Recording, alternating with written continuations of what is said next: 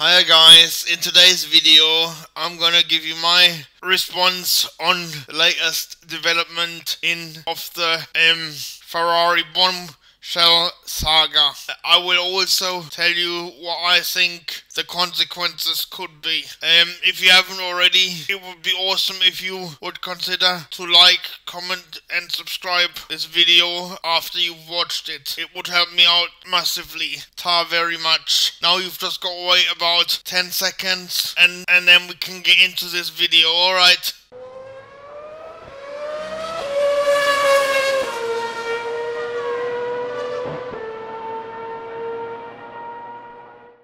I'm sure everybody has heard of what happened 10 minutes uh, after the last day of testing, uh, before the last day of testing rather, uh, where the FIA announced that they have uh, reached an agreement of secrecy basically um, about Ferrari's en engine issues following an investigation. If you haven't, I strongly recommend you uh, check out my video that I did before you watch this one because this one is a follow up to, to the to the one that I did back then. Alright. So um now it's emerged that the teams, uh, seven of the Formula One teams, have um, have written to the FIA, basically demanding further clarification. Um, and also threatening legal action if need be. Um, it is interesting for, for me that all, all the seven, all the, all the teams, bar um, the the three uh, teams which use um, Ferrari engine, have come together and uh, formulated this um, sort of demand. Um, the the three that are not included are obviously the three that use the um for, uh, the Ferrari engine. Like um that would be um Ferrari, Alfa Romeo, and Haas. The other the other ones have all agreed to it. Now I think um, this could be very tricky for the FIA, FIA because my fear is that uh, they've sort of acted before they thought about it really because and my fear is that it could um, go as far as killing Formula One in inverted commas because they they um, I could see the seven teams uh, breaking away from Formula One and um, forming their own series. Series. I mean, we had uh, something similar uh, in the la-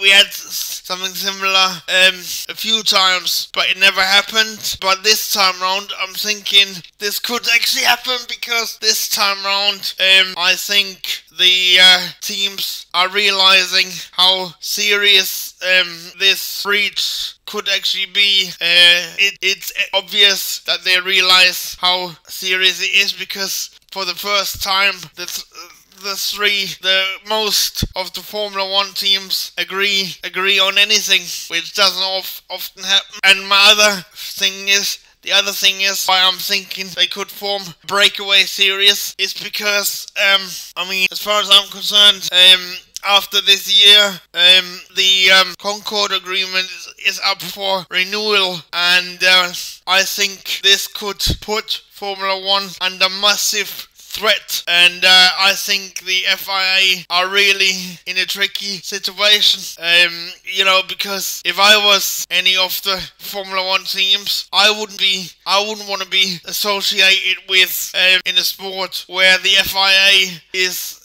um, effectively helping um, one competitor and trying to by covering some something up. I mean, as a, as a lot of people say, I mean there there must be something going on because otherwise, why would they? Why wouldn't they just say say what what it is and um, then we we wouldn't have this situation? But uh, why are they covering it up in the first place? I mean, that just that just add oil to the fire even more. So uh, you know, as I said, um, I'm really concerned for the future of Formula One. Uh, anyway, this is just what I think. Let me know your opinions in the comments below. Cheers for listening.